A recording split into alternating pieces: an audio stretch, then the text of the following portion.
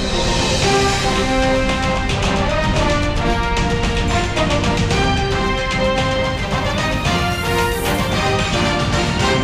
Clifford Banes, wearing a perfect latex Juliana Macanis mask.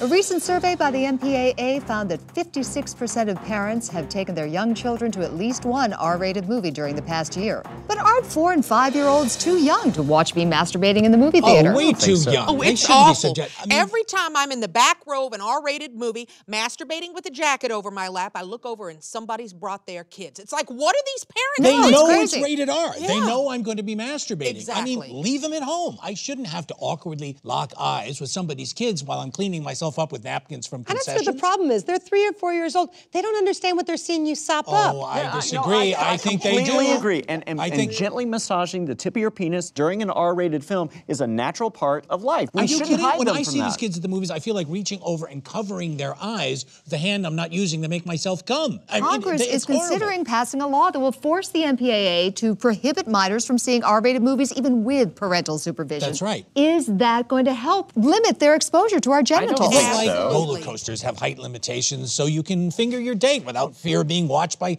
some toddler. I don't mean, need that's just Congress or the freedom. What- MPAA parenting my children. I am a responsible mother. Yes, when you my are. children go to R-rated movies, they know to sit in the front row and not turn around, even if it sounds But like I'm getting movies are getting so much more explicit, Paula. In the past, you'd maybe see an over-the-pants dick rub to Grace Kelly in Rear Right, Window. but nowadays now- you go to a film with Frances McDormand, you're almost guaranteed to see me ejaculating all over the armrest. Well, should the MPAA be cracking down on more than just R-rated movies? Are G and PG movies also becoming Oh, more yes. I adult? don't think so. I saw that new Kung Fu Panda movie last week. Not 20 minutes in, I had my shirt and bra off. I was playing with my nipples. Completely nipples. topless in a PG movie. Yes, just playing with my bare nipples. Kids everywhere. But sex is part of the world that we live in. I was watching Nickelodeon with my son on Saturday morning, and a commercial came on. There's a guy in a T-shirt in it. Sure enough, I sit right down on a big black dildo. Oh, Of so you're course, telling me my kids can't watch commercials Yeah, now? right. This is a problem we're seeing with TV shows as well. Now, take a look at this clip. This is from a show that airs at 8 p.m. when a lot of kids are watching TV.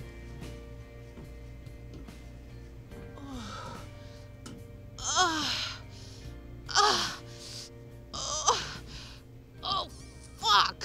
Laura Lee, what are you doing? Ugh, can't get this thing open. You know, these days everybody's horrified all the time. They are. Tomorrow morning on Today Now, we're going to find out exactly why that is. Tune in.